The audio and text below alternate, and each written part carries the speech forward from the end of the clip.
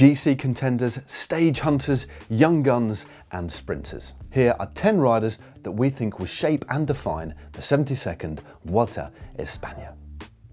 First up, a couple of young guns, and Marc Soler of Movistar. Now with the imminent retirement of Alberto Contador and an injured Alejandro Valverde well into the autumn of his career, Spanish hopes of Grand Tour success in the future rest on the shoulders of the 23-year-old winner of the 2015 edition of the Tour L'Avenir. Now, he's a solid all-rounder whose progress has really accelerated in 2017, with a seventh place overall in the Tour of Switzerland and a third place overall in the Tour of the Basque Country, real indicators of this rider's talent. And he could well be the protected GC rider for Movistar at this year's Vuelta. The former under-23 Spanish road race champion is a climber of really fantastic potential. So much so, in fact, that he's been snapped up by Movistar for the next two seasons, following a really fine victory on the Queen stage of the Tour of Croatia, where he bested none other than Vincenzo Nibali en route to a fine second place overall. Add to the mix as well, really consistent placings in some of Spain's hillier stage races, the Vuelta a Burgos and the Vuelta Castilla a Leon, and you can see why he is really a hot property. And without a shadow of a doubt, he's going to be Caja Rural's best hope of a stage win in their home tour. Now for a few stage hunters forward slash comeback men.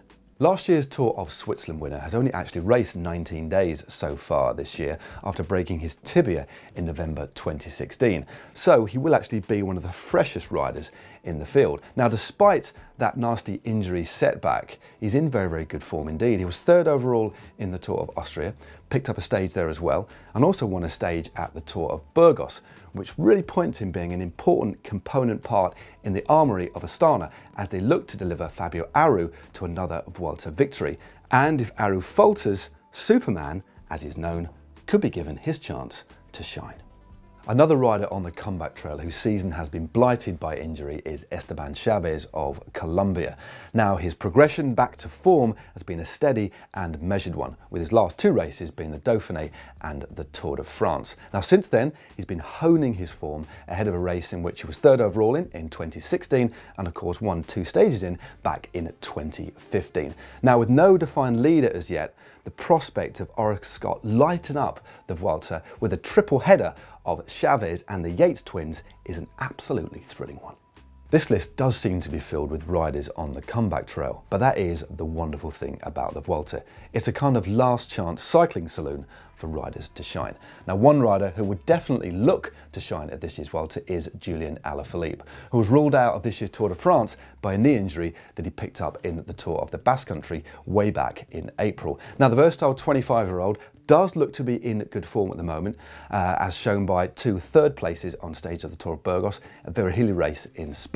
Now expect him to go on the offensive in the hunt for stage wins at this year's Vuelta, whilst also assisting Bob Jungels, who will be more focused on the overall. Now with slim pickings on offer at this year's Vuelta España, it's no real surprise there's a real lack of sprinters in the field. But one rider, without a shadow of a doubt, has the capacity to take one of the few stages on offer for the fast men is Sacha Modolo of Italy. Now, he's a former winner of two stages in bunch kicks at the Giro d'Italia and more recently won a big bunch sprint at the Tour of Poland, indicating that he definitely has the condition to deliver. The 2015 winner of both Paris-Roubaix and Milan-San Remo has had a very challenging time getting back to the same level he was at prior to that awful training accident back in 2016.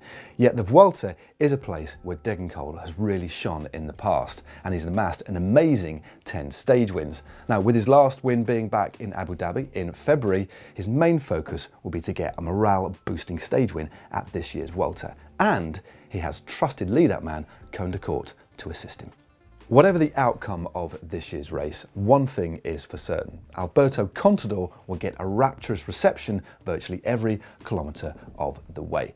Now, he's a three times winner of the Vuelta and has decided to end his career at his home tour, close to the fans that adore him, and fittingly, the race finishes in Madrid, close to the place or the town of Pinto where he was born.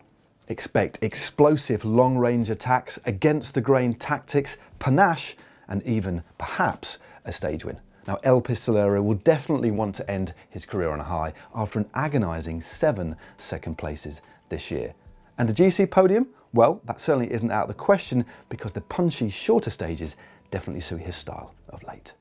It's been a strange season so far for the Sicilian winner of all three Grand Tours, as so far this year, he's only actually won two races, the overall at the Tour of Croatia and a stage of the Giro d'Italia, in which he was also third overall. Now, many may see that as actually underperforming, which may be true, but write off the shark of Messina at your peril, as he has an uncanny ability to bounce back when least expected.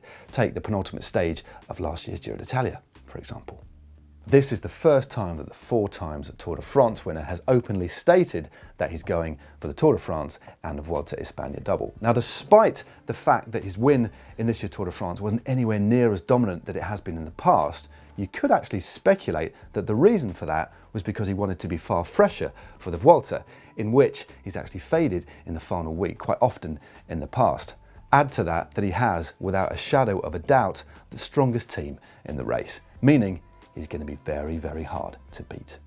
Of course, there's always going to be riders that we miss when we do a top 10. So another few notable mentions in relation to the GC include Fabio Aru, Romain Bardet, who's actually riding his first ever Vuelta España, Steven Kruijswijk, uh, Ilnur Zakarin, to name but a few. And Lloydy, in fact, is on the ground for us at the Vuelta España. So let us know what kind of content you'd like him to do in the comments section down below. Now, if you haven't already subscribed to GCN, you know what to do. Click on the globe, it's absolutely free, and that way you won't miss another video. Now, for Lloydy's Team Time Trial preview of the Vuelta, click just down here, and for our preview show, click just up here. And don't forget to like and share.